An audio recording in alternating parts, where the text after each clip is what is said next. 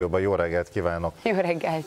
És ez nem kacsa, mert látszik is, hogy be van gipszelve a, a karod.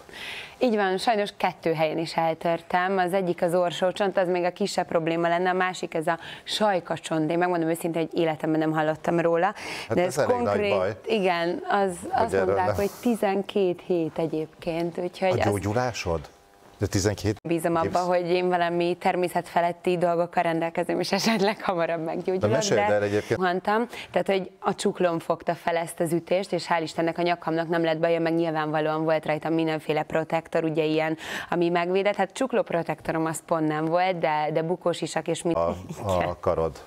Így van, sajnos kettő helyen is eltörtem. Az egyik az orsócsont, az még a kisebb probléma lenne, a másik ez a sajkacsont. Én megmondom őszintén, hogy életemben nem hallottam róla.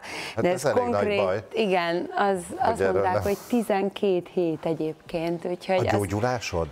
De 12 hát héten nem keresztül tudom, én nagyon bízom abba, hogy én valami természetfeletti dolgokkal rendelkezem, és esetleg hamarabb meggyógyulok. De, de...